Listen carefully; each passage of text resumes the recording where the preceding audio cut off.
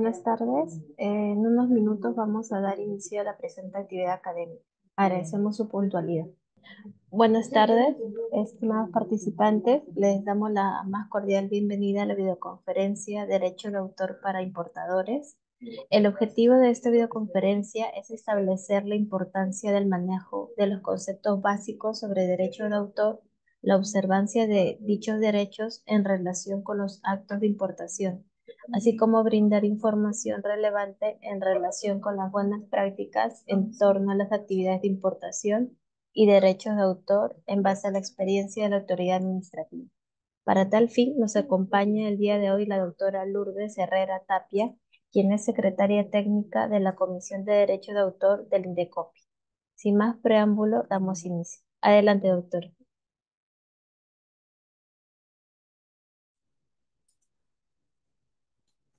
Buenas tardes con todos y con todas. Muchas gracias por participar en esta videoconferencia.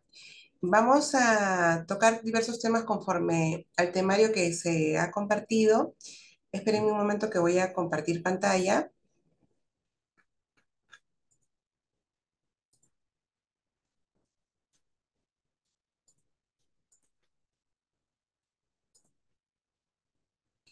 Ok, me avisan si es que tienen alguna dificultad para, para poder verificar la información que estoy compartiendo. Es un PPT de la charla del día de hoy. Ok, eh, la temática es muy interesante que vamos a trabajar. Se refiere al derecho de autor para importadores. Ustedes saben que como Indecopi, que es una institución que vela por derechos de consumidores, el tema de competencia y propiedad intelectual, pues tenemos un área muy grande lo que se refiere a esos temas de propiedad intelectual. Y dentro de esta gran rama de propiedad intelectual existe una que es la de derecho de autor. La otra es tema de invenciones y patentes y la otra es marcas. Entonces, hoy día específicamente vamos a trabajar lo que se refiere a temas de derecho de autor. Por favor, si tienen alguna consulta, no duden en colocar la misma en el chat para que, bueno, de considerarlo pertinente, podamos de repente ir absolviendo las mismas o si no, también tienen un tiempo prudencial al final para hacer algunas consultas. En primer lugar, es importante eh, indicarles que los comentarios que voy a desarrollar el día de hoy reflejan mi propio punto de vista, ¿no? mi expertise, mi experiencia como autoridad a lo largo de estos años en la institución y que no necesariamente van a reflejar la opinión del INDECOPI, de mi cuerpo colegiado, como es la Comisión de Derecho de Autor o de cualquier otra persona. Entonces es importante destacar ello. Entonces, antes de iniciar o básicamente antes de hablar, por ejemplo, de las buenas prácticas, creo que es importantísimo que sepamos o tengamos conocimientos básicos en relación al tema de derecho de autor. Ustedes saben que el manejo de la información es algo vital, es importante, especialmente si ustedes, las personas que están participando en la charla, directamente tienen, obviamente, el desarrollo comercial en relación a temas que por algún motivo pueden estar ligados con temas de derecho de autor, si es que soy un importador de productos, sea de prendas de vestir, de repente de juguetes, entre otros aspectos. Entonces es importantísimo que ustedes manejen eh, qué es lo que se refiere en la normativa de derecho de autor. Como digo, son aspectos básicos que no es necesario que eh, ustedes tengan o sean abogados para conocer. Voy a tratar de ser lo más eh, sencilla posible en el momento de explicar para que ustedes puedan entender a qué se refiere. En primer lugar, es importante saber qué es lo que estamos protegiendo. No estamos protegiendo un tema de marcas, eso lo ve la Dirección de Signos Distintivos, no estamos viendo un tema de patentes. Ahora, esta charla también les comento que es muy importante porque si ustedes, como imaginemos comerciantes, importadores y demás, también tienen productos que ustedes autogestionan, que ustedes realizan y elaboran, eh, también es importante que sepan que así como deben respetar la propiedad intelectual, los demás también debemos respetar la propiedad intelectual de ustedes. Entonces, puede ser que esta, este aspecto básico también ayude que ustedes puedan identificar dentro de su negocio cuáles son elementos de propiedad intelectual que ustedes podrían tener directamente protegidos y que por ende nadie debería, en este caso, vulnerar sus derechos. Así que tiene esa doble connotación. Eh, un primer punto para que ustedes se hagan en cuenta, no estamos hablando de marcas, no estamos hablando de patentes, estamos hablando de obras. Y conforme lo que está establecido en la ley, la obra es una creación de carácter intelectual que la realiza un ser humano, que la realizamos nosotros, hombres y mujeres. No, lo puede hacer una máquina, no lo puede hacer una empresa. Directamente lo realiza el ser humano. y directamente por eso tiene esa connotación de carácter personal y también lo que se refiere para hablar de una obra es que ésta sea original. ¿A qué se refiere que sea original? Que no nos copiemos, que no nos copiemos absolutamente de nadie, sino que lo que tenemos que hacer es crear algo de, acuerdo a nuestra experiencia, a nuestra expertise, de repente a nuestros propios gustos, y que efectivamente consideramos que puede de repente gustarle a un tercero, como es el público consumidor. Entonces estamos hablando de una creación, de una obra directamente elaborada por un ser humano y que es original. Y que es susceptible, obviamente, de ser eh, reproducida. ¿Qué quiere decir reproducida? Por ejemplo, si estamos hablando de un dibujo, ¿no? de alguna imagen, es susceptible de ser reproducida porque la puedo colocar en, en, diversos soportes, ¿no? La puedo colocar en tazas, en polos, en diversas prendas de vestir, en cuadernos. Entonces, esa es la posibilidad de que esta obra como tal, que es mi creación, pueda ser en este caso fijada en cualquier tipo de soporte, incluso no solamente cuando hablemos directamente en la parte tangible de algo físico, como puede ser, como les decía, una prenda de vestir.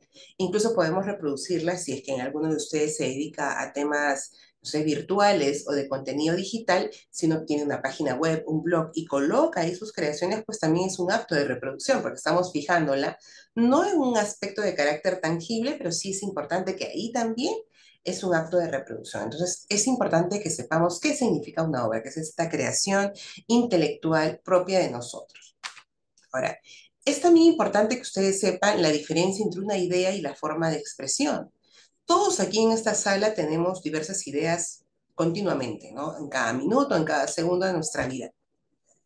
Lo importante para poder hablar si esta idea directamente podría ser protegida por la normativa sobre derecho de autor es que esta idea no puede quedar solamente en nuestro intelecto, no puede quedar solamente en esta esfera privada si nosotros no realizamos un acto mediante el cual podamos expresar esa idea, sea dibujándola, pintándola, esbozándola en algo para que nosotros podamos, en este caso, manifestar qué es lo que estoy pensando.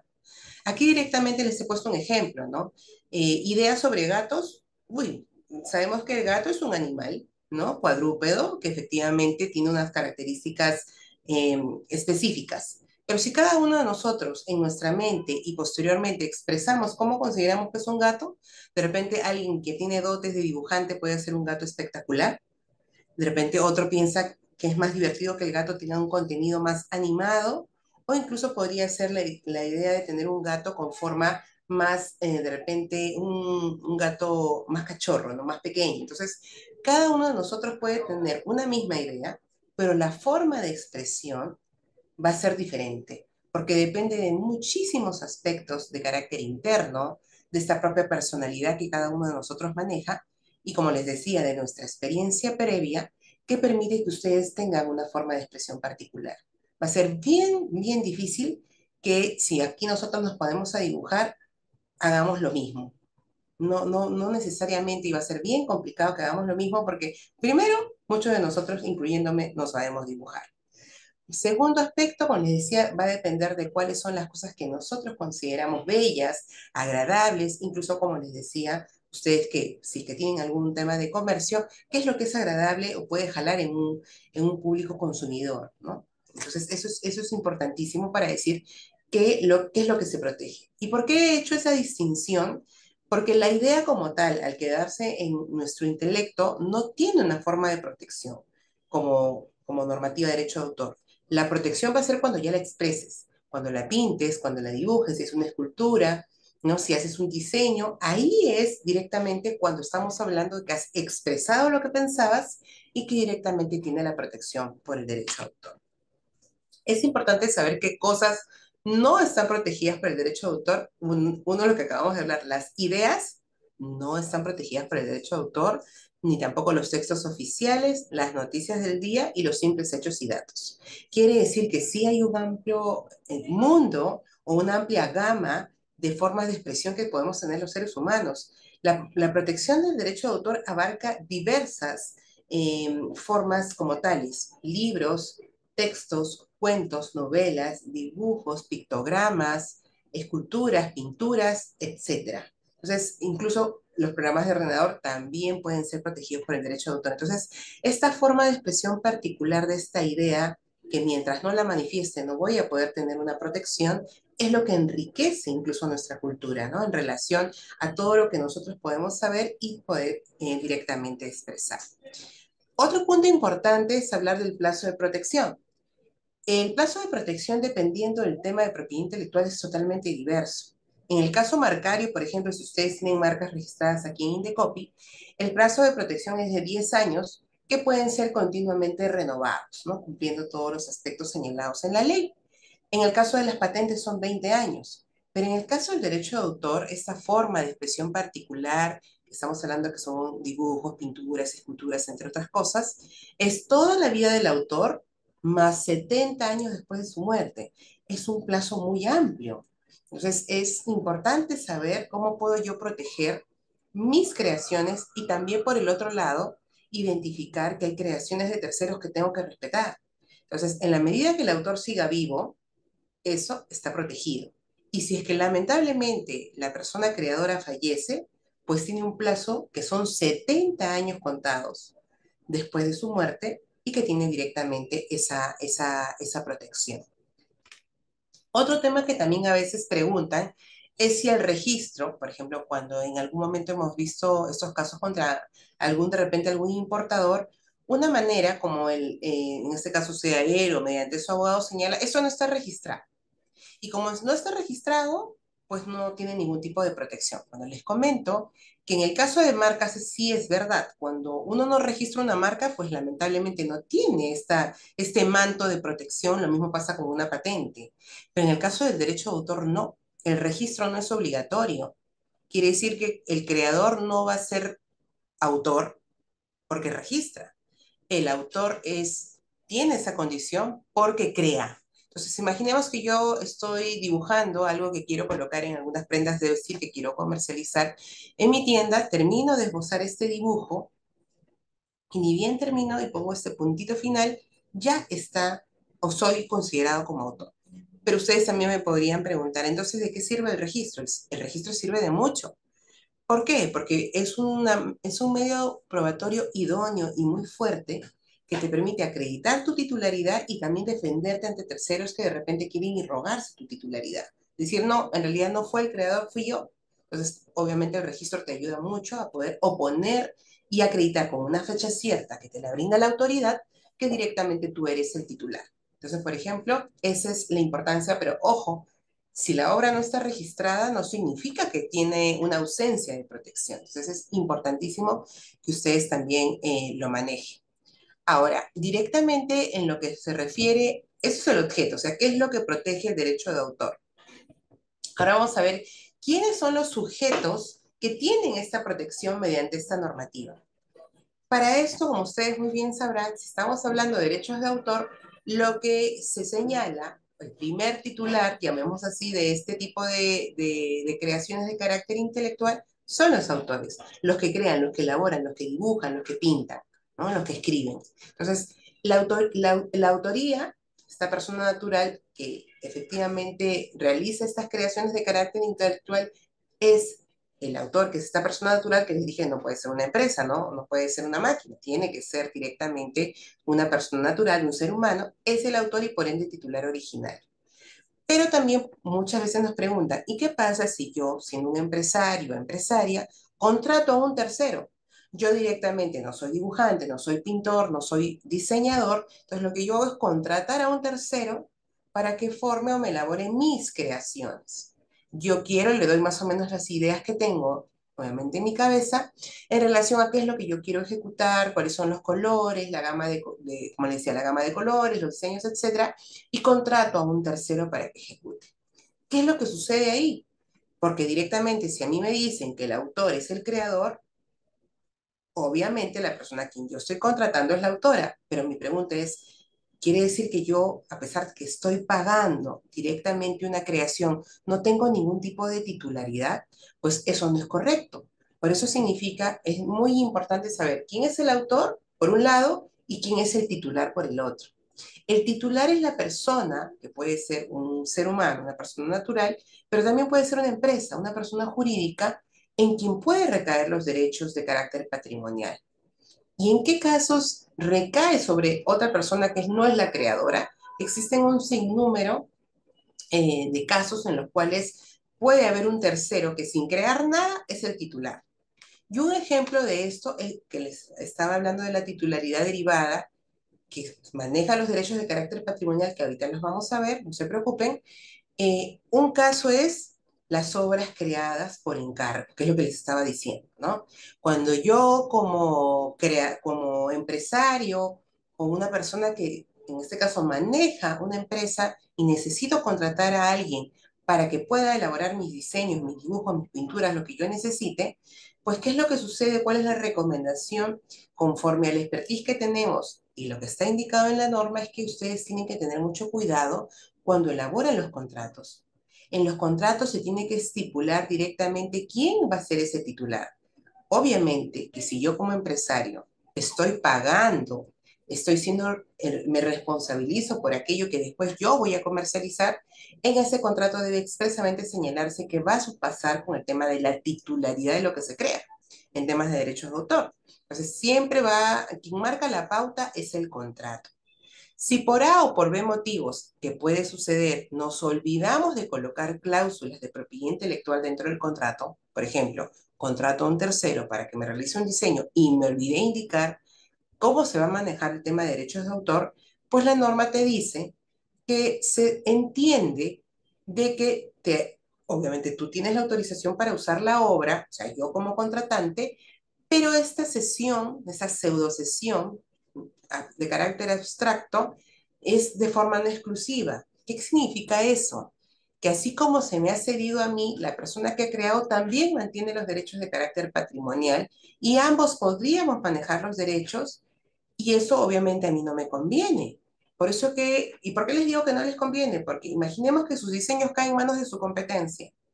Entonces, por eso hay que tener mucho cuidado. Primer punto, siempre se tiene que estipular en temas contractuales. Y como segundo punto, si es que por A o B motivos nos olvidamos de hacer una referencia en el ámbito contractual, pues se va a entender que sí lo puedo usar, que tengo una sesión que se ha colocado, o sea, por parte del autor a mi favor, pero esa sesión es limitada solamente es para las actividades que corresponden a la contratación, de repente para hacer polos, etcétera, pero me olvidé, de repente quiero hacer otras cosas adicionales con ese diseño, no lo voy a poder hacer.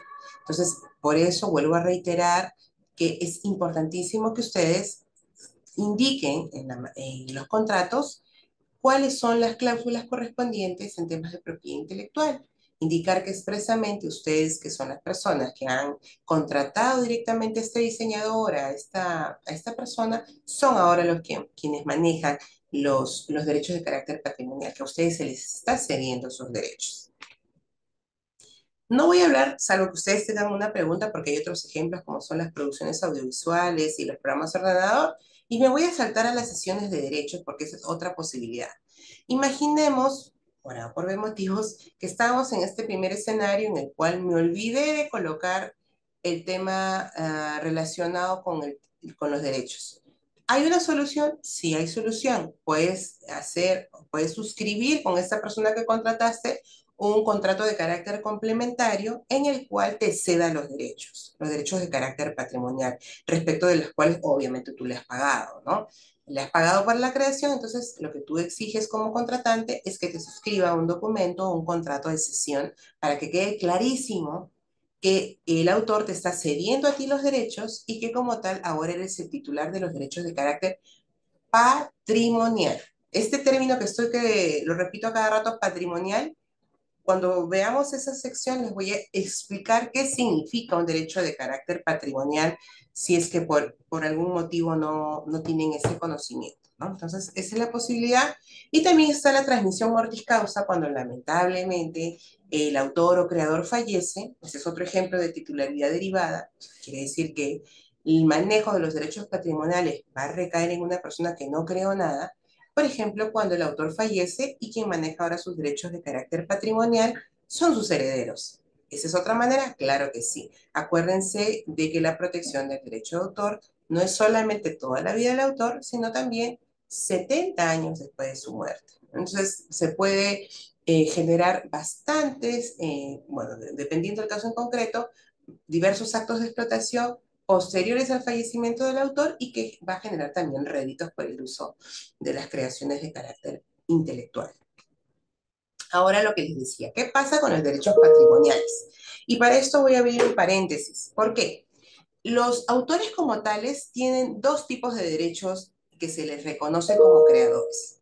Unos derechos de carácter moral, que son inembargables, que son imprescriptibles, por ejemplo, el tema de la paternidad, que significa que la obra siempre tenga mi nombre y mi apellido. Imaginemos que yo elaboro un trabajo, una monografía, y quiero que eh, directamente en ese documento esté mi nombre y mi apellido, Lourdes Herrera, ¿no? que esté colocado porque se identifique que yo soy la creadora.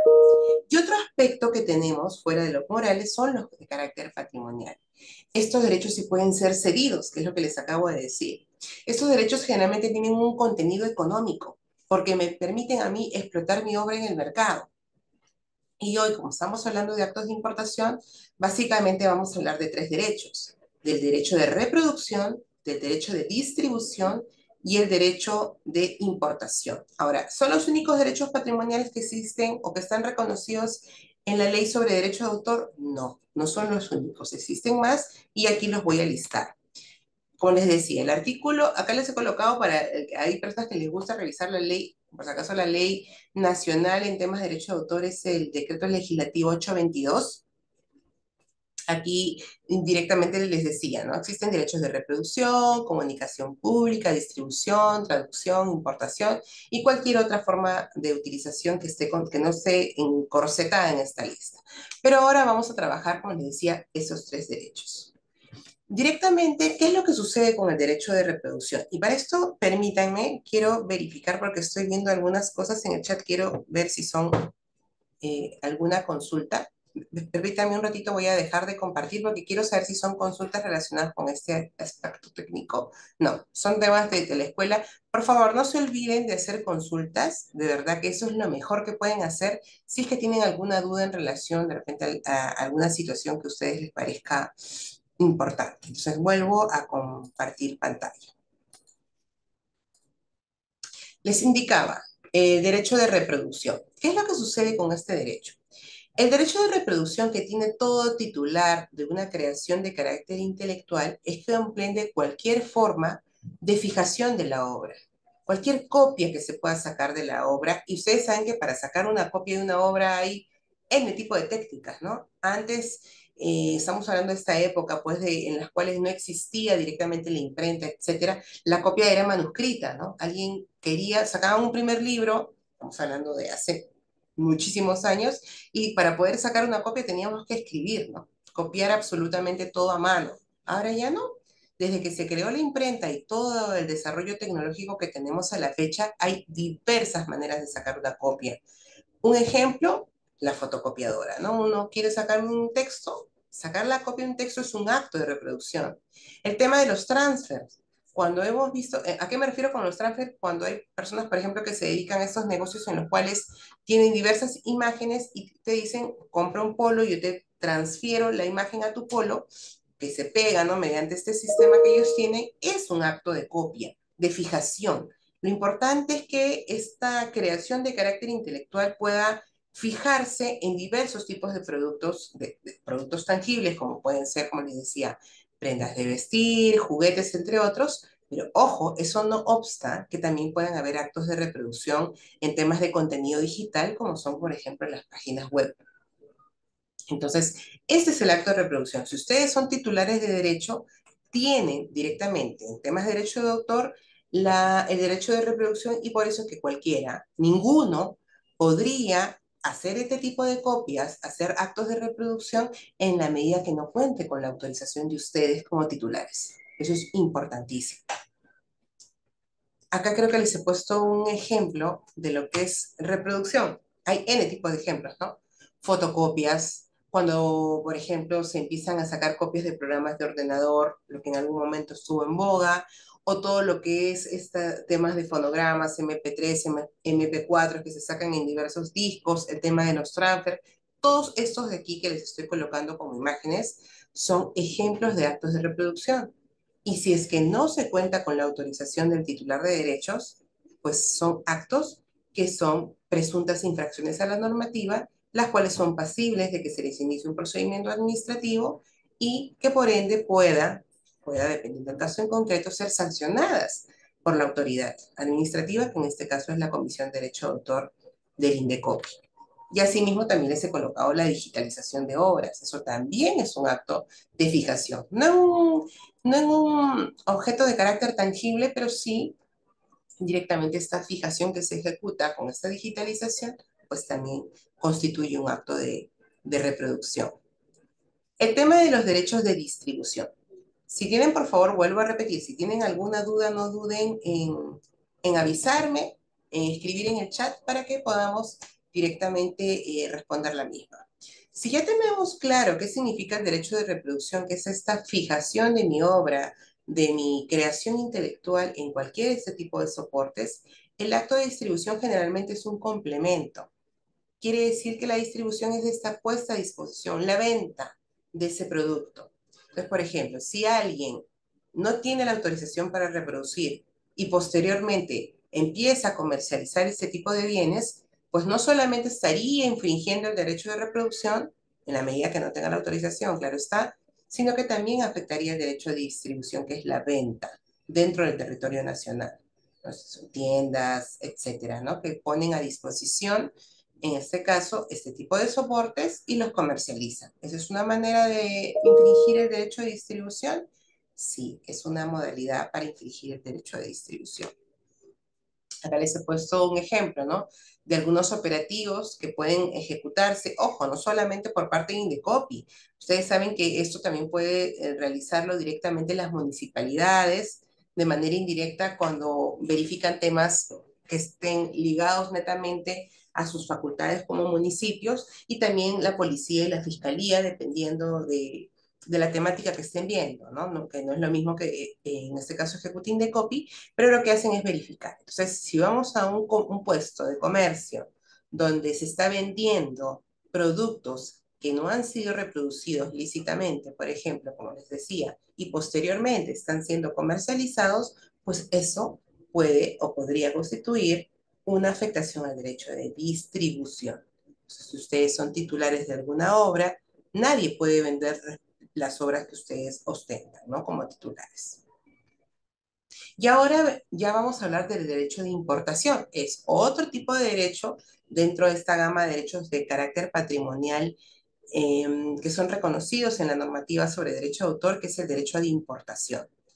El derecho de importación refiere a lo siguiente, porque hasta ahorita el, el derecho de reproducción y distribución estamos hablando algo que se realiza dentro de nuestro territorio nacional. Pero el derecho de importación nos estamos refiriendo a un acto de comercio internacional. Quiere decir que los productos no han sido elaborados aquí en Perú, son productos que han sido elaborados en el extranjero y que lo que está sucediendo es que han sido adquiridos o comprados en esos mercados internacionales y que van a ingresar al territorio nacional para ser consumidos, para ser directamente utilizados dentro de nuestro territorio nacional. Entonces, es, una, es un supuesto distinto al que ya hemos hablado hace un momento. Entonces, ¿qué es lo que dice la norma respecto al derecho de importación? Porque está expreso tal cual en la ley de derecho de autor. Este derecho de importación que ostenta un titular, un creador, un titular de derechos de autor, comprende la posibilidad de que yo como titular autorice o no el ingreso al territorio nacional por cualquier medio, incluyendo transmisiones analógicas o digitales, de copias que hayan sido realizadas sin mi autorización. ¿Qué significa sin mi autorización? Esto es lo que comúnmente le denominan la piratería. ¿Qué quiere decir esto? Son productos que han sido elaborados sin autorización que han reproducido en prendas de vestir, en juguetes, en diversos tipos de soportes, productos sin contar con ningún tipo de autorización del titular y que a pesar de saber que están hechos sin autorización, igual los venden en el mercado internacional. Los venden, obviamente, si se dan cuenta, cuando uno adquiere un producto sin licencia, los precios son muy bajísimos, son bajísimos, bajísimos en comparación con un producto que sí tiene licencias y directamente cuando alguien adquiere el producto en el mercado internacional y lo quiere importar al territorio nacional, pues lo que está pasando es que se configura la afectación a este derecho de importación. Entonces, eso es lo que sucede cuando alguien directamente hace este tipo de actos de importación, vuelvo a repetir, de productos que han sido elaborados en el mercado extranjero, pero sin contar con las autorizaciones. Y aquí también abro un paréntesis muy grande. Si no tenemos, obviamente, la seguridad de que este producto ha sido creado con la licencia correspondiente y que es, ha sido autorizado de manera correcta por parte del titular, por eso es que sucede muchas veces que estos juguetes, generalmente lo, he visto bastante en juguetes, que, corresponden lamentablemente a este término denominado piratería, ingresan al país y no solamente es un tema de afectación a la propiedad intelectual, sino que también tienen otros componentes, porque generalmente en algunos casos elaboran estos productos sin tener ningún tipo de cuidado. Y hablo, por ejemplo, de dos. El primero es la salud, porque utilizan de repente pinturas, o de repente materiales que no son eh, adecuados para la salud, especialmente si estamos hablando, por ejemplo, de juguetes o de algún tipo de producto que está diseñado para que lo utilicen los bebés, y los bebés ustedes saben que todos se llevan a la boca, entonces es posible que este producto pirata eh, no, no tenga el respeto directo en temas de, de salud, o sea, que sean directamente, tengan algunos niveles de contaminantes en estos productos y que efectivamente no sean adecuados para la salud. Entonces, ese es un primer punto, fuera del tema de propiedad intelectual. Y como segundo punto, también hay un tema muy, muy, muy importante que también tenemos que tener en cuenta. Generalmente estos productos que son elaborados a veces en países, por ejemplo, asiáticos, eh, no necesariamente en asiáticos, ¿ah? pero generalmente en algunos aspectos se ha visto, dependiendo del tipo de producto, lamentablemente también en algunos países no se respetan los derechos laborales. ¿Qué quiere decir esto? Aparte de no pagar la propiedad intelectual, aparte de no tener el cuidado de que el material sea un material adecuado y que no afecte la salud, como número tres, no respeto los derechos laborales. Hago que, por ejemplo, trabajen niños, que trabajen personas ancianas o de repente hombres y mujeres en edad para trabajar, pero que no respeto absolutamente nada, tienen una jornada casi de 18 o 20 horas, no importándome si comen o no comen. Entonces, ese tipo, lamentablemente, de situaciones se genera que un producto que llega a ser consumido, que tiene el objetivo de ser consumido en nuestro país, pues tenga todo este bagaje de cosas detrás que hace que el producto sea barato, efectivamente, pero que está afectando una serie, como le digo, no solamente en temas de propiedad intelectual, que eso es un uno de los puntos también que estamos hablando el día de hoy. Ahora, ¿cómo se maneja eh, el tema de, las estructuras eh, en temas de propiedad intelectual ligados específicamente a derechos de autor con este tema de la piratería. Les comento la manera como trabaja Indecopy para que ustedes sepan. ¿no? Eh, la manera como nosotros tenemos conocimiento como autoridad que los productos, y que en este caso presuntamente no tendrían las licencias, ingresan al territorio nacional, las tenemos por dos vías. Podrían ser más, pero voy a hablar de estas dos vías. Nosotros tenemos actualmente un convenio con la SUNAT. Ustedes saben, la SUNAT, que maneja directamente el tema de aduanas, es la que nos informa. Es una posibilidad que SUNAT, de acuerdo también a, las leyes que ellos corresponden, y ojo, ojo, también acá es muy importante decirles, el tema de comercio internacional no está desligado de la propiedad intelectual. Existe un acuerdo internacional que se llaman los ADPIC, es la A-D-P-I-C-S, los ADPIC, ADPICs, algunos le ponen plural, que tiene esas son las siglas en español, en español, que están hablando de aspectos de comercio internacional ligados a propiedad intelectual, en los cuales Perú forma parte de este acuerdo. Y lo que se señala en este acuerdo de carácter internacional es que tiene que haber un fomento del respeto de la propiedad intelectual de manera recíproca entre países. Ustedes saben que el tema de propiedad intelectual corresponde a temas de industrias de carácter cultural que genera réditos, que genera también poder dar empleo y una cadena de cosas, incluso pagar impuestos y demás. Entonces, si entre países no nos, respetan, no nos respetamos la propiedad intelectual, que es una parte importantísima del desarrollo de nuestra industria cultural y por ende de nuestro producto, incluso bruto interno, entonces, ahí es donde se generan este tipo de inconvenientes. Entonces, ¿cómo es la manera como se trabaja? O sea, en el marco internacional, la propiedad intelectual, de todas maneras, en virtud de estos acuerdos internacionales, tiene que respetarse. Y por eso las aduanas tienen este tipo de competencias, incluso si ustedes lo deben haber escuchado más que yo, el tema de medidas sin frontera y demás, eso lo ejecuta aduanas. Entonces, ¿cómo es la manera como trabaja Indecopi? Y en este caso específico, la Dirección de Derecho de Autor. Nosotros tenemos un convenio con aduanas y ellos nos reportan diariamente cuando hacen este tipo de reconocimientos en, en estos terminales de, almacenamiento y ellos empiezan a verificar mercancías, algunas debidamente declaradas, otras no. Ustedes saben, cuando le declaran mal a las una, eso ya no sé si necesariamente tiene salvación, pero la multa de todas maneras no se, se, le impone al que mal declara, pues se hace una verificación y ellos cotejan la información en este caso nos, envían fotografías y demás, y esta información es derivada de los titulares de derecho. Estos titulares de derecho, que muchos tienen representantes legales aquí en el Perú, lo que hacen es una verificación si efectivamente el producto cuenta o no con la licencia correspondiente. En caso el producto tenga eh, evidencia de que no cuenta con la licencia correspondiente, lo que va a suceder es que ya Indecopi va a poder ejercer sus actividades, que es lo que después vamos a verificar, qué es lo que hace Indecopi cuando verifica un tema de piratería, ¿no? que el propio titular informa que el producto que se está ingresando no cumple de repente con el tema de licenciamiento correspondiente. Como les decía, es por parte de aduanas que nos informa, también comunicamos directamente a los titulares, por otro lado, también tenemos nuestros veedores. Indecopi tiene veedores de aduana, que son los que se pasean por los terminales de almacenamiento y también, de acuerdo al conocimiento y la expertise que tiene, también nos brindan la información.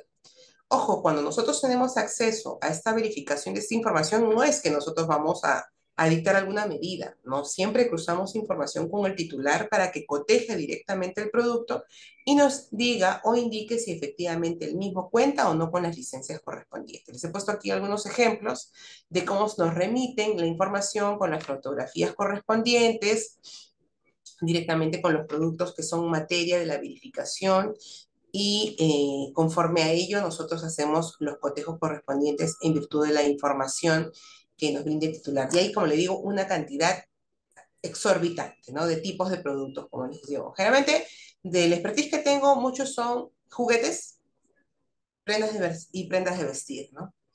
Ya para, yo ya he visto en temas bancarios que ya hay más, por ejemplo, temas incluso, no sé, pues, eh, temas de enchufes, luces, etcétera. Eso no necesariamente lo vemos como derecho de autor, pero sí lo he visto en, en las otras áreas que son correspondientes. Entonces, ¿Cuáles son las competencias que como Indecopi nosotros podemos ejercer en virtud de la información de que la mercadería que lamentablemente se está ingresando al territorio nacional no cuenta con las licencias correspondientes? Entonces, ¿cuáles son mis competencias como autoridad? Primero, lo que yo puedo hacer como autoridad es que yo puedo inspeccionar la mercadería.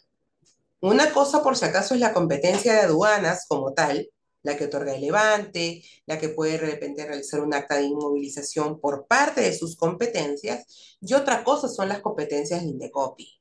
¿Y por qué hago ese énfasis? A veces ha sucedido también que si aduana te genere levante, ¿no? Este levante autorizado piensan que ya está todo correcto, ¿no? El levante autorizado es el cumplimiento de las obligaciones de carácter aduanero, que directamente son competencias de aduanas, pero eso no, tiene, no obsta y no obstruye las competencias que yo tengo como Indecopi si en caso se verificara que esa mercancía no se cuenta con la licencia. Entonces, ¿qué es lo que nosotros como autoridad podemos hacer? En primer lugar, yo puedo dictar medidas, medidas de inspección. ¿Qué quiere decir? Que yo como autoridad puedo ir in situ al terminal y hacer una verificación, un cotejo de tus productos y separar aquellos productos respecto de los cuales tiene el conveniente que tienen reproducciones de obras que no cuentan con las licencias. Entonces, puedo realizar eh, inspecciones en terminales de almacenamiento, en locales comerciales, en diversos lugares. No tengo ninguna prohibición legal para hacer ese tipo de diligencias. Entonces, tengo competencia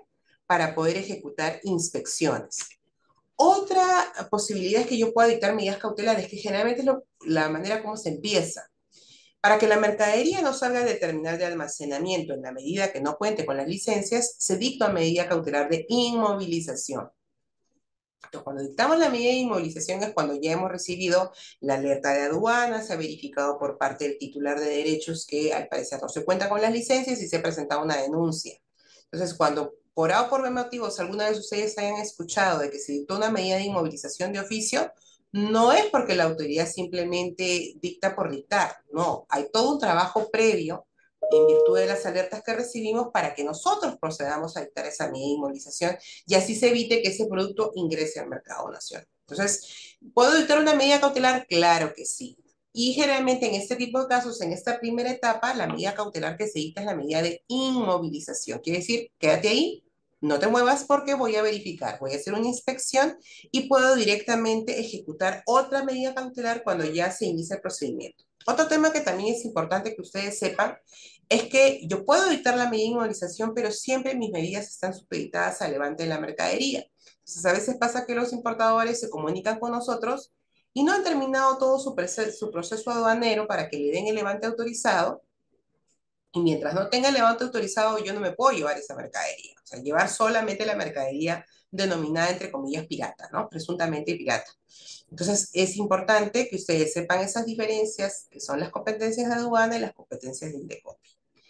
Otra competencia que también tengo como autoridad es el tema de las denuncias. Los titulares son los que inician los procedimientos en, relación a, a este tipo de productos.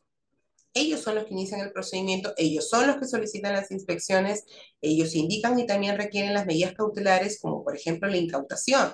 Entonces, ¿qué es lo que nosotros hacemos? Nosotros verificamos la información, que es la alerta de aduanas, esperamos que se ejecute una inspección con la incautación para cotejar el tipo de producto que supuestamente es el presuntamente infractor, y también, claro que sí, evaluamos si ustedes presentan sus documentos, se presentan eh, sus escritos de descargo, también directamente los evaluamos, porque ustedes nos pueden dar una información que consideramos relevante. Entonces, revisado todo esto, y soy muy sincera, en así al 99.99999 de todos los casos, eh, las denuncias son declaradas fundadas, porque cuando les requerimos las licencias, lamentablemente los importadores no cuentan con la documentación. Entonces, al no contar con la documentación y el propio titular haber hecho el cotejo de que el producto no cuenta o ha sido reproducido sin autorización, pues esas denuncias son declaradas fundadas.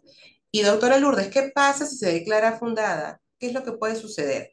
¿Nosotros podemos, eh, en este caso, imponer alguna sanción? Claro que sí, como autoridad, como Indecopi, podemos eh, amonestar, si es que la, en este caso, por ejemplo, los productos son de repente son poquísimos, ¿no? Dependiendo del caso en concreto, pero también podemos multar. Y la multa va desde una UIT hasta 180 unidades impositivas tributarias. Es un montón, claro que sí, es lo más grave.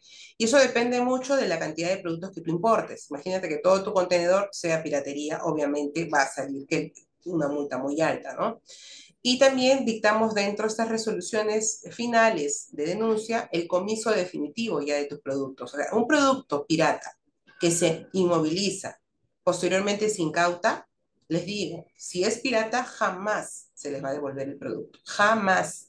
Porque es un producto que ha sido elaborado o ejecutado sin el respeto a la propiedad intelectual. Nosotros no vamos a ordenar la devolución de ese tipo de productos. O sea, estamos hablando de los piratas que no tienen licencia. Y bueno, directamente también hay una fase dentro de la denuncia que se llama las, conciliaciones, en las cuales las partes no es obligatorio de considerarlo pertinente, pueden llegar a un acuerdo. ¿no? Generalmente, y en el expertise que tengo, los acuerdos son de carácter económico. Quiere decir que eh, por lo que tú has importado y sin tener las autorizaciones, generalmente te puedan requerir los titulares que tú les pagues algo.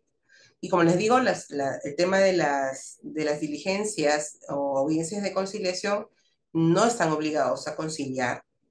Algunos lo hacen y el procedimiento ahí termina, ya no se te sanciona, el, expediente se archiva, o en este caso, si no quieren conciliar y continuar, pues directamente ya la comisión evaluará cómo terminará el caso. Como les digo, generalmente estas denuncias son declaradas eh, fundadas.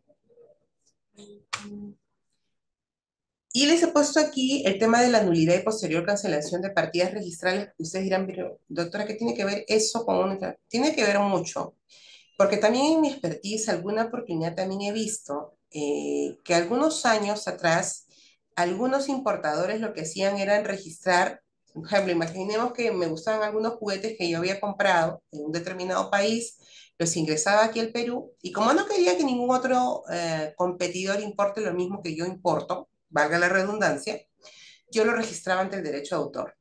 Entonces lo quería registrar, pero ahí es un craso error.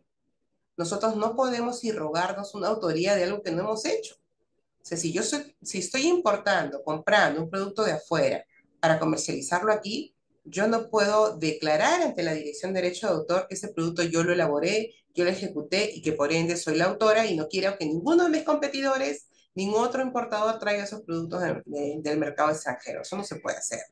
Entonces, por eso, si por A o B motivos alguna vez sucede que por ahí algún importador hace esto, pues, o sea, podríamos declarar la nulidad de esa partida. Porque acuérdense que existe presunción de veracidad. Yo, yo les voy a creer. Si usted me dice que son los creadores, yo les creo, no tengo por qué pensar mal. Pienso que el ciudadano me está diciendo la verdad. Pero si verificamos que el producto es materia de una importación, pues eso es gravísimo, ¿no? Porque está mintiendo la autoridad y porque también lo que quiere hacer es afectar a su competencia de una manera ilícita, ¿no?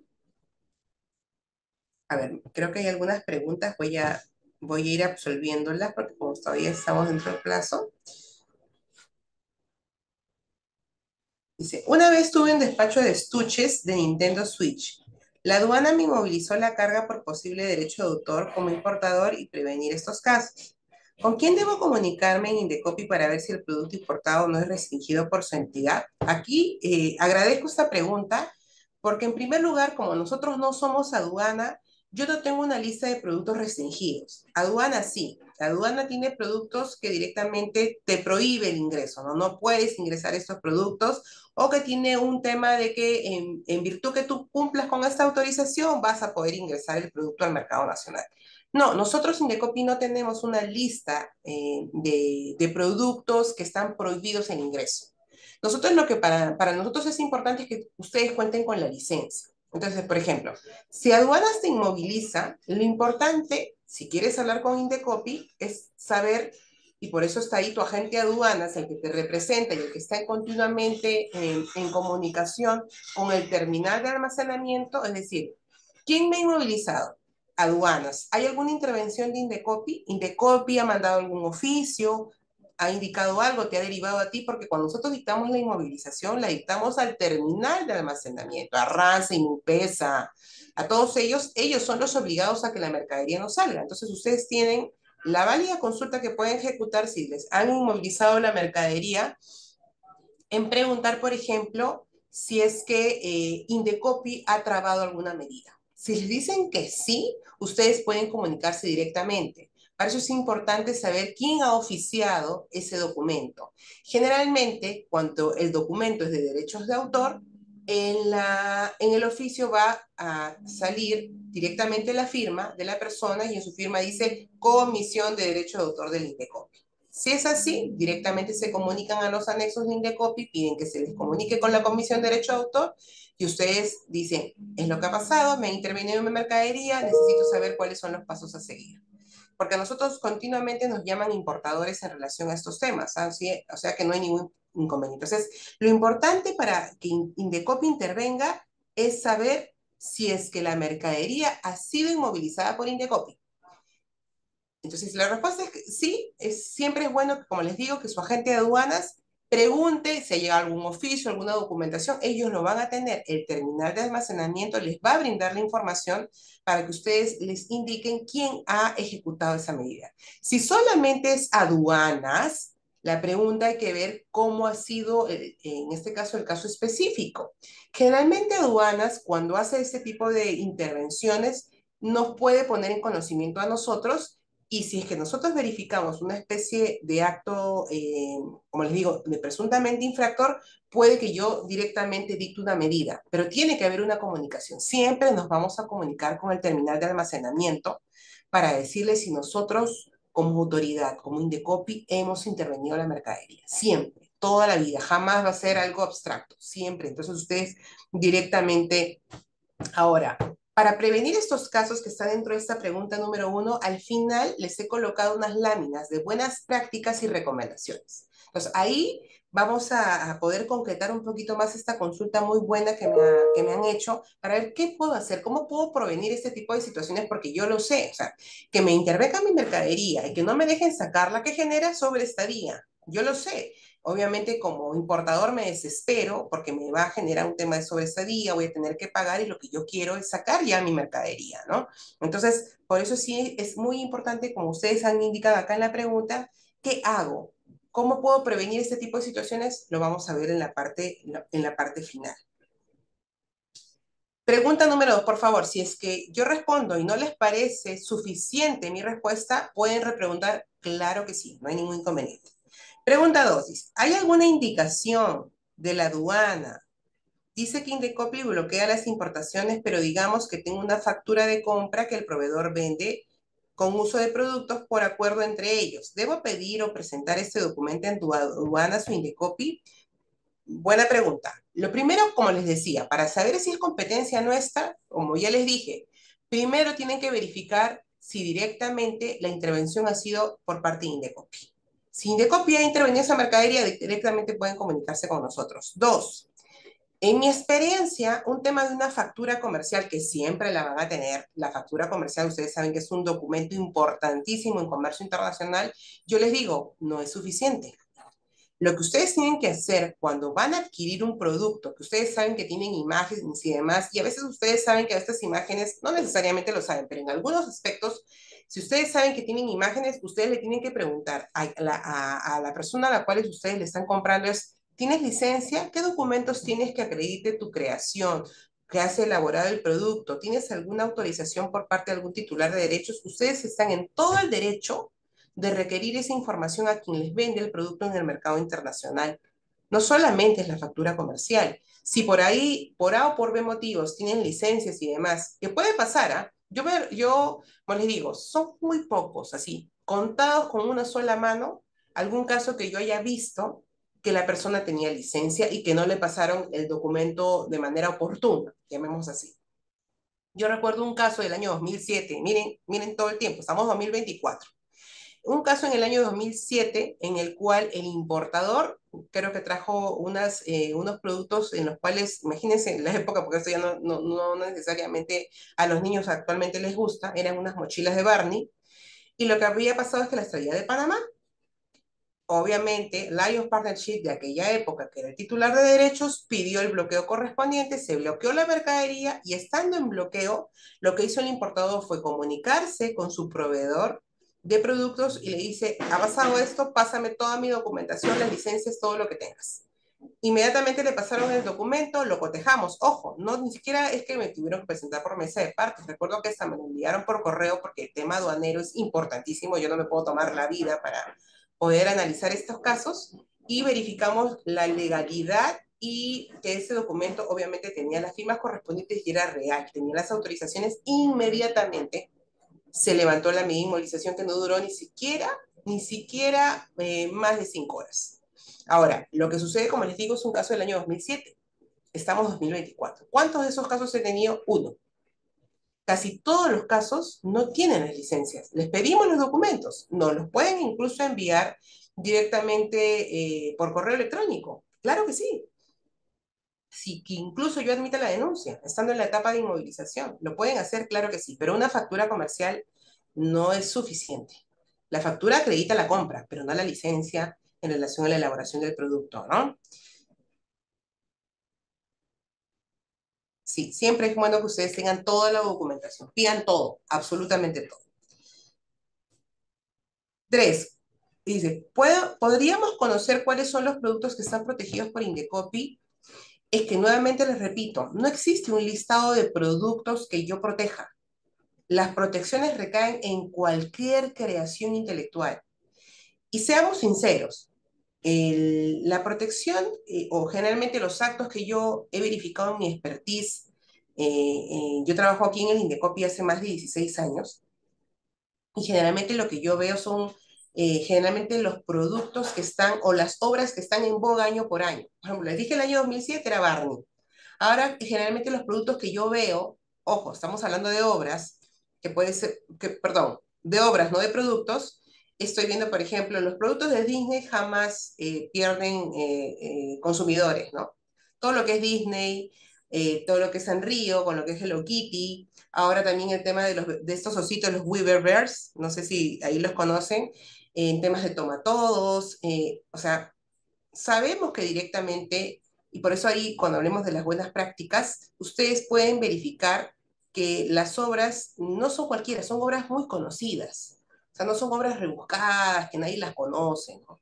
Son obras que son muy conocidas, incluso que están en boga dependiendo, por ejemplo, si hay una película, algún estreno o algo que les guste mucho a los chicos de la época. Es lo que generalmente nosotros tratamos de, que nos jala más el ojo, ¿no? Entonces, no, no existe un listado de productos. Tampoco existe un listado de obras, porque ya les he dicho que las obras eh, no es necesario que estén registradas. Y como les digo, generalmente lo que sí he visto es que son obras que están en boga, que son las actuales y más utilizadas, que no, no, no existe un listado para eso, pero pueden, por si acaso, en el... Nosotros tenemos un buscador de resoluciones de Indecopi que es totalmente público, y ustedes pueden colocar dentro de este... Al final les voy, a, les voy a dar el link del buscador de resoluciones. Ustedes ponen importación y les va a salir todos los casos de importación que hemos visto. Y ahí se van a dar cuenta las diversas obras, que no es un listado cerrado. O sea, hay incluso hay casos en los cuales ni siquiera tienen representantes legales en el Perú. Entonces, ahí es, por ejemplo, Thomas the Train, este, Hello Kitty, todo lo que es de Disney, de Disney, Cartoon Network, DC Comics, todo lo que es este, también Marvel, ¿no? Spider-Man, o sea, todo eso eh, eh, genera, obviamente, que, que, es recontra conocido, es lo que más he visto en este tema de, las, de los actos de reproducción, pero no, no existe una lista de productos. Dice, el derecho de importación también afecta a aquellos casos en los que los importadores compren directamente al mismo titular de la marca o a un establecimiento autorizado. Obviamente, y también lo he visto, si ustedes co compran al titular de manera directa o compran eh, a un establecimiento autorizado, lo que va a suceder, y lo he visto, ¿ah? es que cuando se generan las alertas por parte, por ejemplo, de aduana, el propio titular responde y dice, ese producto está licenciado. Varias veces ha pasado, incluso en temas marcarios, y no los bloqueamos. Entonces, como les digo, de los 99.999 casos, todos son fundados. Los, no se bloquea todo lo que ingresa. Nosotros no, no recibimos una alerta diaria, recibimos N alertas y en muchos casos el propio titular, mediante sus representantes legales, nos manda un correo y dice, ese producto está licenciado, lo hemos licenciado, así que no, no hay ningún tipo de infracción. Y no denuncian, y por eso no inmovilizamos. Así es que si es que ustedes directamente tienen esa buena práctica de contratar o comprarle al titular de la marca debidamente autorizado con la licencia correspondiente, excelente. No, no vamos a bloquear un producto de esa naturaleza. Un caso que sería muy, así, muy de repente ¿cómo le podríamos decir? Un, caso muy particular, podría pasar, pero no le he visto, miren, mis 16 años aquí en temas de importaciones, es que el titular de derechos haya autorizado a un determinado país, imaginemos, no sé, a productos, no sé, a países europeos, que sean este tipo de productos sean comercializados solamente en Europa. Entonces, si ese producto que solamente son para Europa, estoy hablando de derechos de autora, no de marcas, eh, son traídos aquí a Latinoamérica, pues obviamente podría tener un tema de, de, incumplimiento, sí, pero como les digo, es un caso muy extraño y en 16 años yo no he visto ninguno en temas de importaciones eh, que estamos hablando aquí. O sea, generalmente siempre lo que nos dicen, esos son productos autorizados. Yo he dado la autorización, por eso que a veces la respuesta del titular no es directa. Ellos preguntan a su cliente, el cliente dice, verifican porque la fotografía que nos derivan es del producto e incluso ven los códigos, la manera como se elabora el producto y ellos saben cuando un producto es original y cuando un producto lamentablemente es, ilícito, ¿no? A ver, ¿qué más? Me están haciendo una pregunta de agotamiento del derecho de marcas. Eh, yo lo podría responder, pero preferiría que lo haga el especialista en marcas. Hablo específicamente del agotamiento del derecho de autor, porque es donde eh, la, hoy día la, charla es de derecho de autor.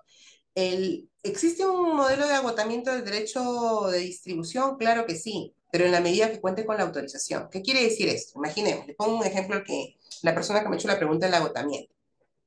Si yo como titular autorizo, por ejemplo, que un producto sea comercializado aquí en Perú, lo comercializo, lo autorizo, ¿no? O imaginemos, en Latinoamérica en general, en Perú autorizo que se comercialice y es un producto lícito, elaborado, totalmente eh, con autorización. Si este producto es comer este que ya lo, lo, vendí en Perú, posteriormente puede ser revendido, ¿tiene algún problema, Lourdes? No, no tiene ningún problema porque tiene la autorización. Ese, ese es lo, lo que le denominan el agotamiento. En la medida que tú ya autorizaste esta primera venta, las subsiguientes ventas del producto no tienen por qué involucrar una afectación al derecho. Y ojo, esto es muy importante. Una cosa es cuando hablamos de agotamiento del derecho de distribución, en temas marcarios, bueno, en tema de derecho de autor, y otra cosa es piratería. Porque acuérdense que en el tema del agotamiento que ustedes están refiriendo es que el producto ha sido elaborado lícitamente. Cuando hablamos de agotamiento, el producto tenía autorización, sino que podría pasar, como les digo, es que se autorice para un determinado territorio y no para otros. Podría pasar, puede pasar. No lo he visto en este tema específico de temas de importación, pero sí lo he visto, por ejemplo, en aquella época, en temas de discos, estas empresas grandes que venden, bueno, ahora ya no usamos tanto, pero estos discos, estos CDs, lo que había pasado es que habían autorizaciones y decían, oye, ¿por qué en este país es más barato los discos y acá en Perú es carísimo? Y es que tenían mercados segmentados, ¿no? Pero eso no tiene que ver con el derecho a importación. ¿Por qué? Porque cuando hablamos de agotamiento, el producto ha sido elaborado debidamente autorizado. Acuérdense que importación son productos que han sido elaborados sin autorización. Son productos piratas que no tienen, o sea, fueron creados sin ningún tipo de autorización y posteriormente vendidos. Así que ahí en ese tema de importación jamás se va a aplicar el tema del agotamiento, porque son figuras totalmente distintas. ¿Ok? Espero haber respondido. Igual saben que si no está claro, por favor, me avisa.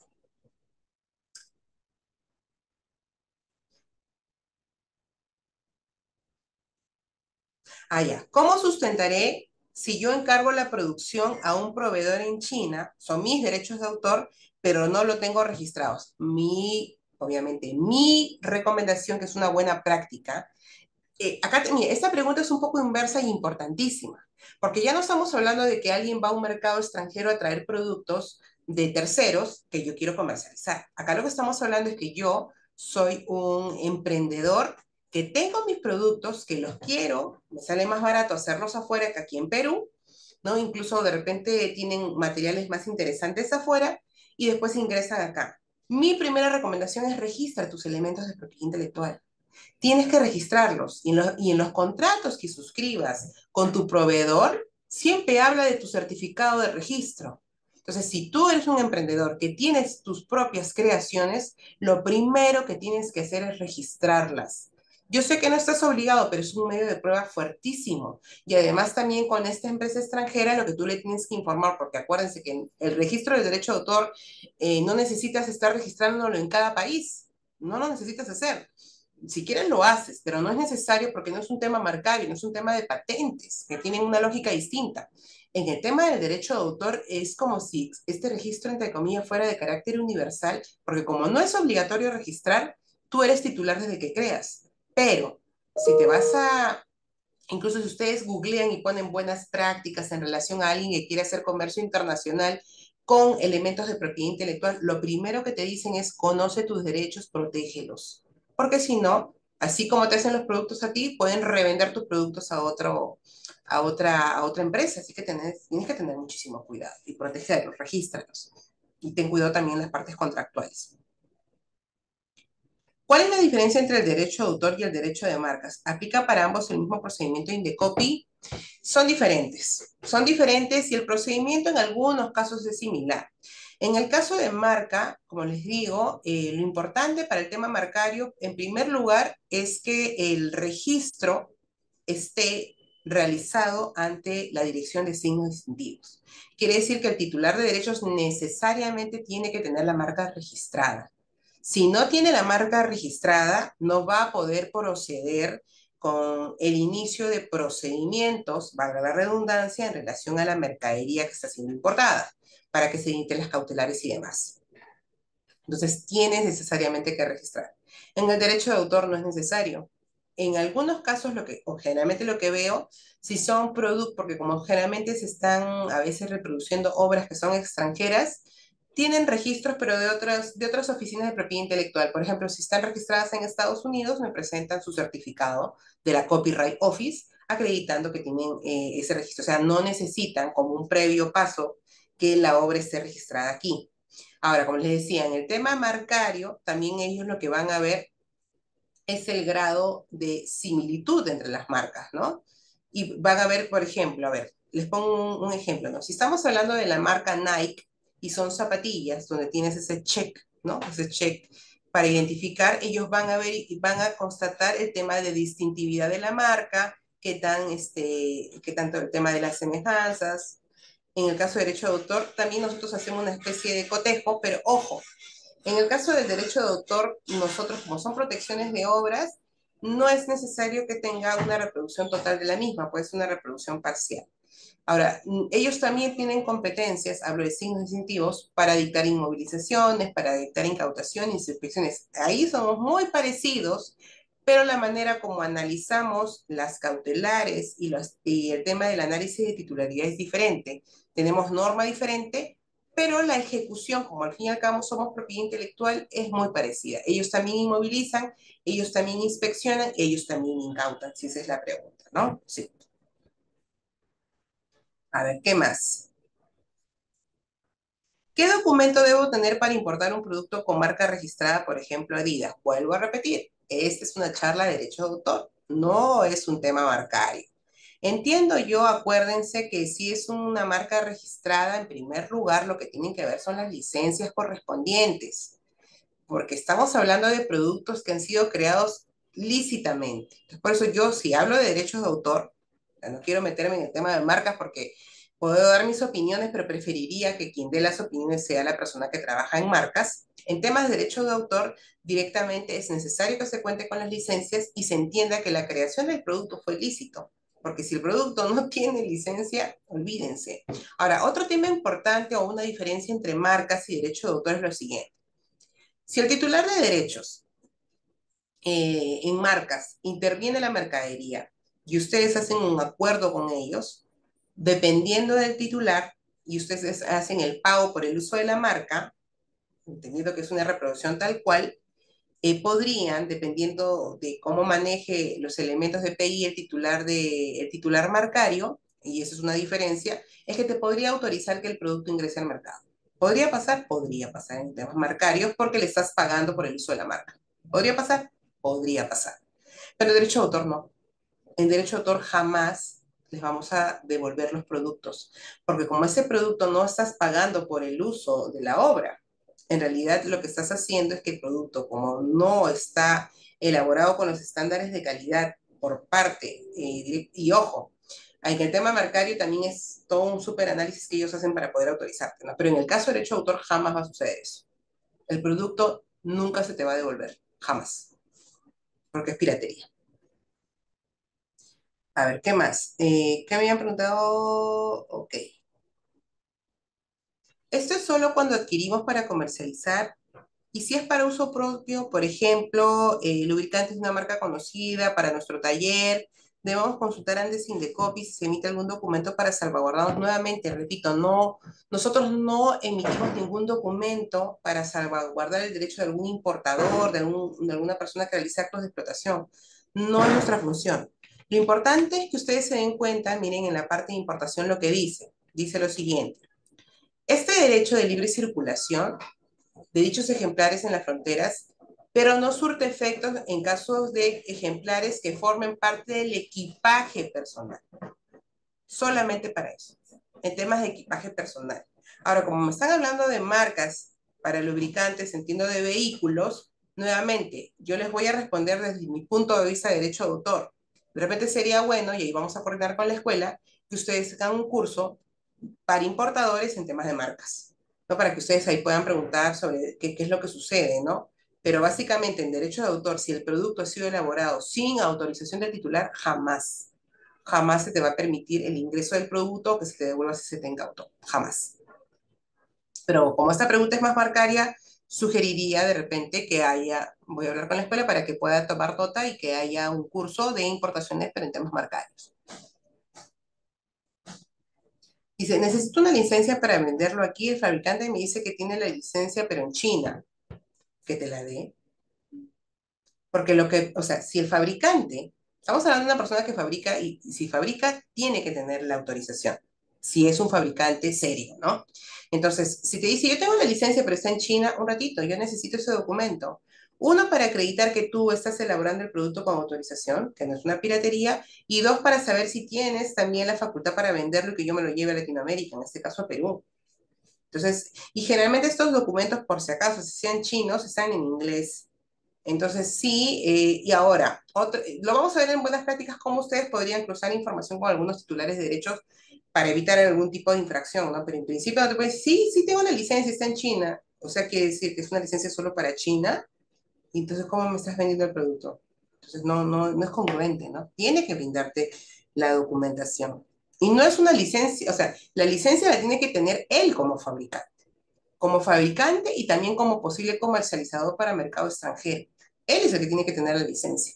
No es que tú tienes que tener una licencia para. Casos diferentes en el tema marcario que podría pasar, pero ahí, como les digo, prefiero que directamente la gente de marcas les dé en virtud de su expertise y no mi opinión personal, porque no es mi día a día. Mi día a día es derechos de autor. ¿Quién genera las alertas? Aduana y también de copy. Y por si acaso aduanas, no solamente tenemos aduanas del Callao, puede ser aduanas de cualquier punto, de cualquier puerto. ¿ah? Incluso no solamente estamos hablando de la aduana marítima, o sea, yo puedo recibir alertas eh, aduana marítima, puedo recibir también de la aérea. Y cuando hablo de la marítima, puede ser de acá del Callao, puede ser de Paita, o sea, puede ser de diversos lugares, hasta de Tacna. Yo recibo alertas por si acaso, o sea, no solamente es una aduana en específico, ¿no? Así que generalmente las alertas, la, casi podríamos decir que el, el 80% de mis alertas o un poco más son de aduanas y algunas las generan mis propios veedores de aduanas, ¿no? Pero la mayoría es del mismo, del mismo aduanas. Dice, digamos que la marca está protegida en Perú y tengo un contrato de derechos de autor que respalda una cierta cantidad, solo se libera esa cantidad. Ahora, aquí la pregunta tiene tema marcario y tema de derecho de autor. Voy a responder la parte de derecho de autor.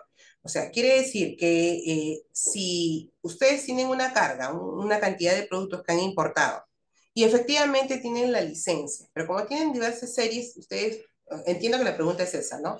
Esta licencia puede cotejar o verificar que solamente cierta parte de mis productos están licenciados y otros no.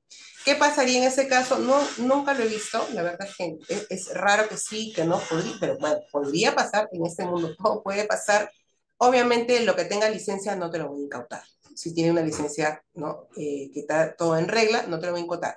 Si aquello que no tiene licencia, sí, pero acuérdense que como todo marca la pauta, la denuncia del titular, si el titular solamente denuncia por A, yo no te voy a incautar B, C, D, E, no me voy a meter con la demás mercadería. Yo lo único que me voy a meter es respecto de la mercadería, que es materia de denuncia y respecto de las cuales tengo que ver el tema de las licencias. No voy a ver lo demás. Podría de repente en algunos otros escenarios, pero para su tranquilidad generalmente nosotros cotejamos lo que el titular indique. Dice, en caso de una marca registrada en país de destino, el titular de autor podría reclamar ya que el, derecho de obra es diferente a la marca. Eh, no puedo hablar directamente por el tema marcario porque quisiera que mis compañeros de marca eh, pero hay que verificar, ¿no? O sea, no he visto casos a la fecha, les soy 100% sincera, en la cual haya un tema de marca, de derecho de autor que tenga un tratamiento distinto. ¿Por qué? Generalmente la marca como tal, si estamos, ustedes saben que las marcas pueden ser denominativas, un nombre, y también pueden ser figurativas, que son dibujitos, y pueden haber mixtas, quiere decir que tiene nombre con figurita. Eh, en la parte de la figura puede recaer no solamente la normativa marcaria, sino también la normativa de derecho de autor. Quiere decir que yo autogenero mi marca como un logo que puede ser protegido como una obra de carácter artístico y a la vez lo registro como marca. O sea, tengo esta dualidad. Tengo marca, etc. Ahora, conforme a esta pregunta, mi mente puede volar y ponerme en diversos escenarios. Si estamos en este escenario que estoy comentando, en el cual estamos hablando del logo en específico, pues no habría una infracción o una oposición porque directamente yo como titular manejo los derechos. Caso distinto es que, lo que la pregunta esté relacionada, que traigo un producto que está relacionado con un tema de derecho de autor, imaginemos, no sé, pues quiero traer Mickey Mouse, montón de peluches de Mickey Mouse, pero la marca que está colocada en el peluche es de la empresa respecto de la cual yo adquirí. Entonces ustedes me dicen, ¿qué tiene que ver la marca y el derecho de autor? Yo les respondo, si esa es la pregunta, no tiene nada que ver. Si tú tienes la marca de ellos, yo no te voy a intervenir por marca, pero sí te puedo intervenir por derechos de autor, porque pueden ponerle la marca que quieran, el logo que quieran, pero ese Mickey Mouse no tiene la autorización, no tiene la licencia, y si el titular le interviene y me dice y presenta la denuncia, yo la voy a inmovilizar y en este caso la Comisión de Derecho de Autor la va a incautar y finalmente no se te va a devolver. Entonces, si esa es la pregunta, la verdad es que es irrelevante el tema marcario, porque yo lo que voy a hacer es atacar por temas eh, directamente de marca, perdón, de derecho de autor. Otra cosa que también he visto es que a veces como pueden traer una, una cantidad considerable y series N, o sea, pueden tener a 10, 20, 30, 40 series, puede pasar, dependiendo de los productos, que una parte le intervenga marcas Imagínense, la serie 1, 2, 3, 4, 5 interviene marcas y derechos de autor intervienen las demás. O sea, cada uno interviene en las series respecto de las cuales es competente. ¿No? ¿Puede pasar? Puede pasar, ¿no? Incluso también podría pasar, dependiendo del caso, si es un producto, imaginemos que tiene el check de Nike, ¿no? El check de Nike y al, al costado de acá tiene la figura de Spider-Man. ¿Puede ser que las dos áreas intervengamos respecto de un mismo producto? Claro que sí, porque el titular lo que hace es ir por los dos. Nike va por el tema marcario y el estudio de abogados de Spider-Man viene por derechos de autor y los dos intervenimos. ¿Puede pasar? Puede pasar. Y cada, cada dirección lo que va a colocar es la multa independiente. Va a haber una multa por marca y una multa por derecho de autor, de todas maneras, ¿no? Salvo que de repente lleguen a un acuerdo. Gracias de verdad por las consultas que están haciendo porque eso enriquece, ¿ven? Eso enriquece y yo les puedo dar mi punto de vista eh, del material que yo veo. Vamos a pasar, antes de que termine nuestro tiempo, eh, ya vimos el tema de competencias, al tema de las buenas prácticas, que es una sugerencia que yo les estoy dando desde mi punto de vista. Ustedes ya verán si las consideran pertinentes o no. Les he colocado tres sugerencias como buenas prácticas. La primera, y que es importantísima, porque muchas veces yo escucho a los importadores que me dicen, doctora, eso que usted me está interviniendo yo jamás lo pedí. Yo nunca le pedí a mi proveedor ese producto y me ha engañado, me ha mandado lo que yo nunca había pedido. Entonces, mi recomendación sería, oye, participa directamente o mediante tu agente de aduanas, porque yo entiendo que ustedes son personas muy ocupadas y para eso contratan un agente de aduanas que participe en el reconocimiento previo que es esa facultad que ustedes como consignatarios o sus representantes pueden verificar una constatación y una verificación antes de que se destine la mercadería. Entonces, que participen en ese reconocimiento previo para que ustedes puedan verificar si efectivamente lo que ustedes pidieron es lo que acaba de llegar. Esa es mi primera recomendación. Mi segunda recomendación sería el que si van a adquirir productos en los cuales se han reproducido obras, ustedes para verificar que se cuenta con las licencias correspondientes, hay que pedir la documentación. No solamente es importante la factura comercial, que obviamente es importantísima, pero también podemos pedir el tema de las licencias, documentos que acredite que el producto fue elaborado lícitamente y que también tienen autorización para comercializar, eh, por ejemplo, en, Latinoamérica, en Perú, etcétera, ¿no? Estos temas territoriales los pueden ustedes acceder.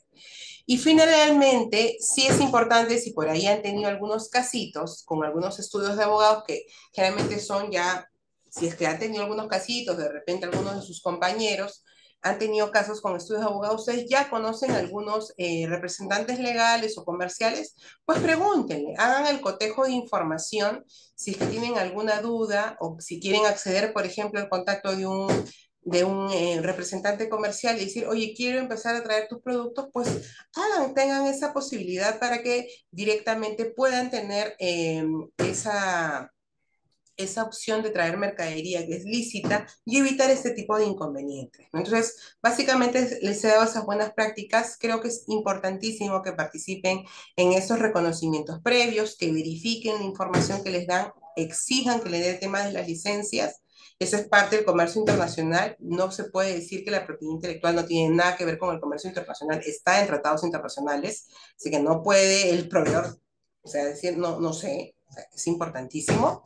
Y el tema de, de esa relación con, de considerarlo pertinente con los, con los representantes comerciales. Ahora, ¿cuáles son las recomendaciones eh, finales que yo también les puedo dar en virtud de mi expertise en la dirección de derecho de autor? Primero, es necesario, por eso me parece excelente que tengamos actualmente 50 participantes en esta charla, es que ustedes tienen que conocer las normas. No van a poder saber de qué les estoy hablando o qué les habla algún funcionario de Indecopi si ustedes no conocen la normativa, que les ayuda por doble vía, como usuarios y también como titulares de derechos. tienen que tener conocimiento de la norma y que puede esto permitir que ustedes tomen las medidas necesarias y correspondientes para evitar cualquier tipo de riesgo en relación a la mercadería que ustedes quieren traer. Yo les he puesto estas, estas este, frases en rojo para que se den cuenta qué importante es saber si esto es verdad o falso en virtud de lo que hemos hablado hoy día. Uno, la protección, y miren, ustedes ahí me pueden responder, la protección de las obras en derecho de autor es territorial. Así que puedo utilizar libremente las obras del extranjero, no hay ningún problema, porque lo de Perú es en Perú. ¿Eso es verdadero o falso? Lo que acabamos de hablar hoy día. Eso es falso. La protección de derecho de autor es universal, porque yo no necesito un registro, no es una protección solamente en Perú. Y yo no puedo hacer ningún distingo si el titular es extranjero, si el titular es nacional. A ambos son titulares y merecen respeto. Segundo, se considera infracción solo cuando se usa toda la obra, pero si, si usa una partecita no hay infracción, ¿no? Por ejemplo, la Hello Kitty generalmente a veces solamente reproducen la cabeza o incluso solamente la silueta. Entonces, ¿eso puede eh, constituir una infracción? Claro que sí, no necesito reproducir todo. Basta que pueda yo identificarla como tal y poder hacer un acto de reproducción parcial. Y tampoco se puede hablar, oye, oye, ¿qué me hablas de infracción si todo el mundo lo hace? Bueno, así alguien ejecute de repente alguien que es tu competidor, etcétera, y está ejecutando actos de infracción, eso no es ninguna justificación porque seguro que también ha tenido sus procedimientos sin Indecopy y ojo, tener mucho cuidado porque este tipo de propiedad intelectual también constituye delitos que ojalá no le llegue, pues, porque puede ser en algún momento, una cosa que llegue Indecopy y otra cosa es que llegue el Ministerio Público. Ellos tienen otro tipo de competencias muchísimo más fuertes, ¿no? Entonces, mm, tampoco es una justificación. Eh, ya les había dicho, por favor, recomendación, nunca registren productos que ustedes importan. Si ustedes no los han elaborado, ustedes no los han creado, no los registren, porque eso es mentir a la autoridad y peor aún, tratar de comportarse de manera equivocada con tus otros competidores importadores, ¿no? Eh, también es muy importante mantener una comunicación fluida con la autoridad, sea con la autoridad de manera, con nosotros, porque si directamente tenemos una intervención, no tienen ningún tipo de inconveniente en comunicarse con nosotros para poder ejecutar las medidas lo más pronto posible y sin ningún tipo de contratiempo. ¿Ok? Eh, también sugiero que siempre participen, no necesariamente ustedes, puede ser su representante, en las diligencias que se ejecutan por la autoridad, porque ahí es donde ustedes tienen la facultad de dejar constancia de algo en actas si algo eh, o algún documento que quieran adjuntar, ese es el momento cuando se está haciendo la inspección. No es el único, pero es importantísimo que ustedes participen.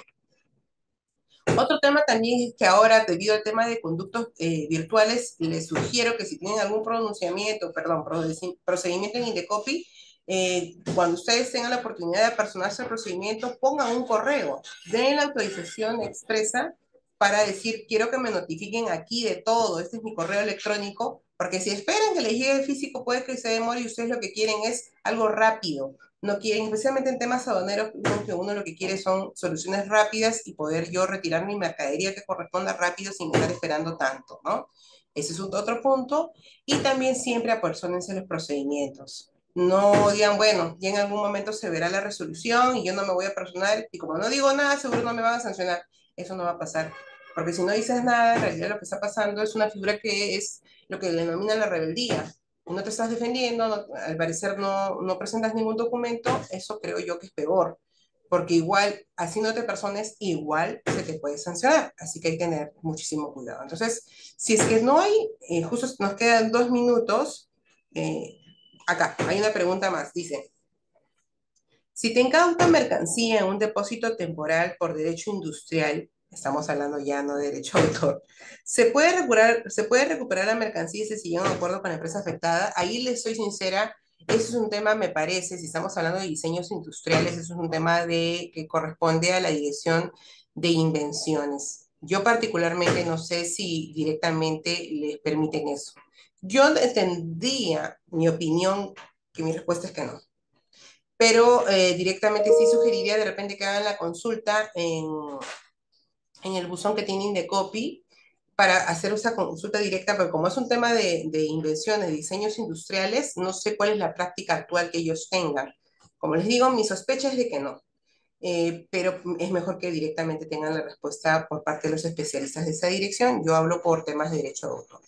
Entonces, eh, no sé si tienen alguna consulta adicional, de verdad espero eh, haber habilitado toda la información en este corto tiempo que tenemos, como les digo, de mi expertise de todos los casos que yo he visto a la fecha, todos, en realidad todos o sea, cuando se interviene es cuando no se tiene la licencia.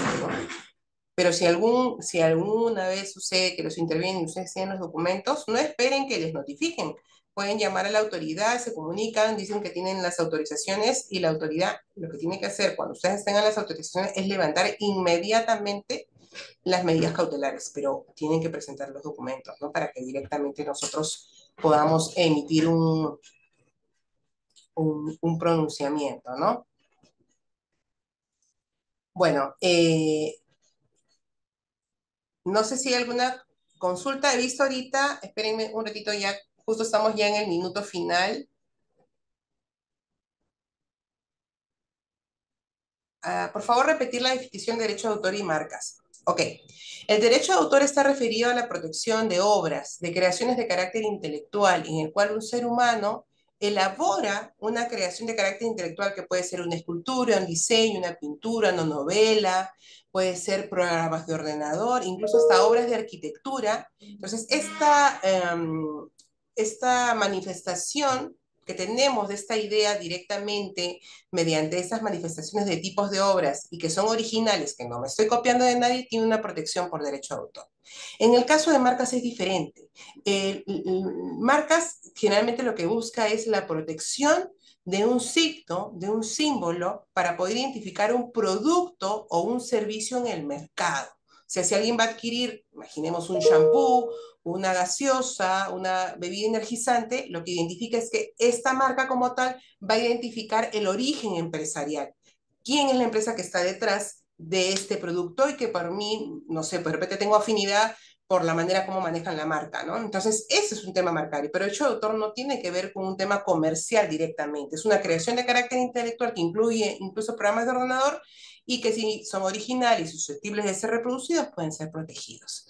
Entonces, eh, esa es la diferencia. Espero poderlos haber ayudado. Ya saben, si tienen alguna consulta más, no duden en escribirla a la escuela. Podemos coordinar incluso otra charla adicional. Así que muchísimas gracias por, por su tiempo tan valioso y también por su atención y sus preguntas. Gracias.